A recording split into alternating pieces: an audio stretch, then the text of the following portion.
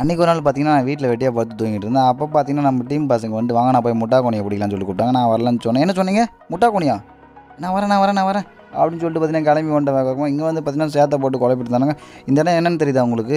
இந்த இடம் தான் வந்து பார்த்தீங்கன்னா இந்த இடத்துல தான் அந்த முதல்வன் படத்தோட ஷூட்டிங் எடுத்தாங்க. ஸோ அந்த அர்ஜுன் வந்து பார்த்தீங்கன்னா சேத்தை பூச்சிட்டு வருவார் பார்த்தீங்கன்னா அது இந்த குளம் தான். ஸோ வேறு லெவலில் இருக்கும் இந்த குளத்தில் செம்மையாக அப்புறம் இந்த குளத்தில் பார்த்தீங்கன்னா அந்த முட்டை கோணியை பிடிச்சிட்டு போயிட்டு இருந்தோம் அப்புறம் பார்த்தீங்கன்னா அந்த முட்டை கோணியை க்ளோஸ் அப் ஷாட்டில் காட்டலாம்னு சொல்லிட்டு தூரத்தில் இருந்து சும்மா ஜம்முன்னு காமிச்சிட்டு வந்தோம். கிட்ட வந்து பார்த்தா தெரியுது தெரியும் தொங்க விட்டே பாவம் சாவடிச்சிட்டு இருக்கிறானுங்க. அதை ஃபுல்லாக பூரா செத்து போய் கிடக்குது. அதை அடியே கீழே விடுங்கடா சாமிங்களா போகலான்னு சொல்லிட்டு நாங்கள் பாட்டு கிளம்பி வந்துட்டோம் இந்த மாதிரிலாம் யார் சின்ன வயசில் பிடிச்சிருக்கீங்கன்னு சொல்லிட்டு கமெண்ட் பாக்ஸில் கமெண்ட் பண்ணுங்க கேஸ் பாய்